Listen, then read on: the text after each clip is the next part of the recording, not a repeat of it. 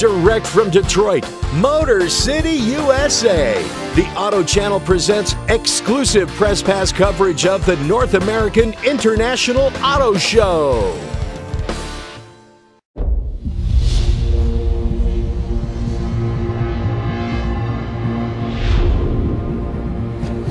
Nobody expected this. There was no advance notice.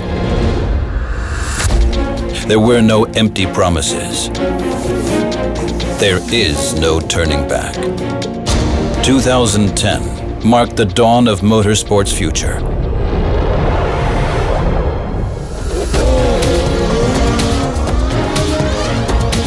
With the 911 GT3R Hybrid. But that is not enough for us.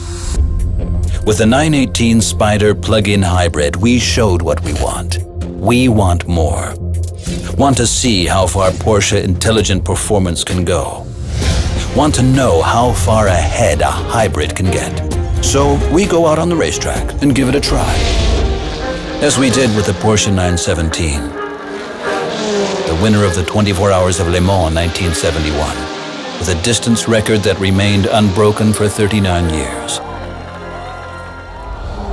It wouldn't be the first time that we came up with the best ideas on the racetrack.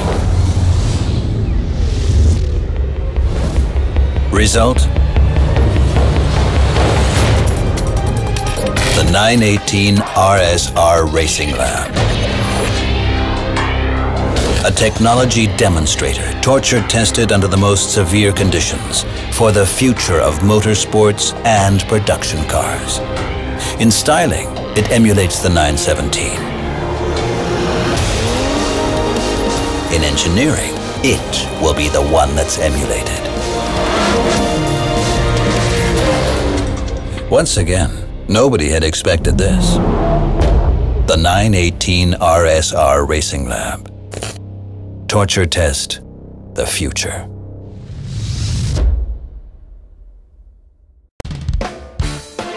Thanks for watching the Auto Channel. For more great coverage of all major motor events, visit theautochannel.com, the internet's most complete and comprehensive automotive resource.